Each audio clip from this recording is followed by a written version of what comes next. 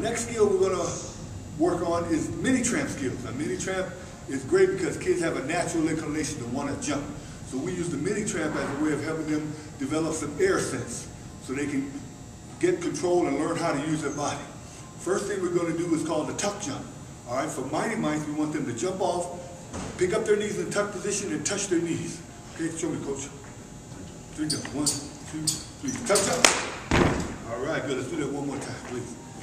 Okay. All right, tuck jump. One, two, three.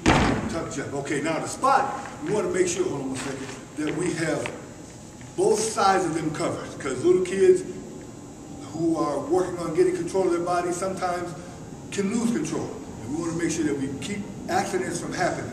If a kid falls and hurts themselves, it could really turn them off from wanting to try new things. So when we spot mini trampoline, we spot it this way. Make sure that you're in what we call the ready, ready position. Feet apart, shoulder width apart, knees bent, arms out this way so in case they fall backwards, you catch them here, or if they fall forward, you can catch them falling on their face.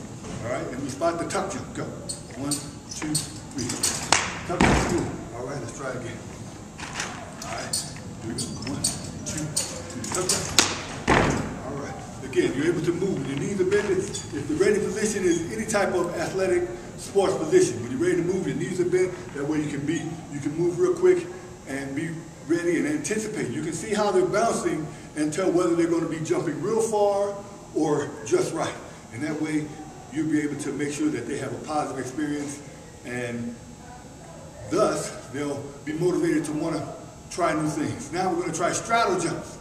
Now, when you straddle jump, you open your legs real wide and close. And I'm in a position right now where I might be uh, subject to get kicked. So you got to be a little bit careful. But you still have to make sure that you're covering both sides of the, of the, of the uh, participant. Go. One, two, three. Straddle jump. Boom. All right, good. Try again. You get behind them a little bit like this. Go. One, two, three. Straddle.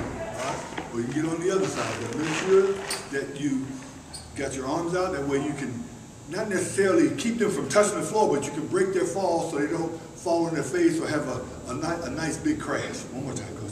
One, big strap. Two, three, four. All right, thank you very much. Now, we'll do the half turn next. All right, pretty easy. Jump half turn. This is this one where they do the half turn, and you got to be really ready to catch it this way because sometimes they'll lose their balance and they'll fall back. And if they're not prepared, they could, you know, fall on their bottom and, and jerk themselves and have what we call that whiplash effect. All right, go. One, two, three, oh, four. You're catching them coming back. One more time. One, two, three. Okay. And that's our mini trampoline. Thank you very much.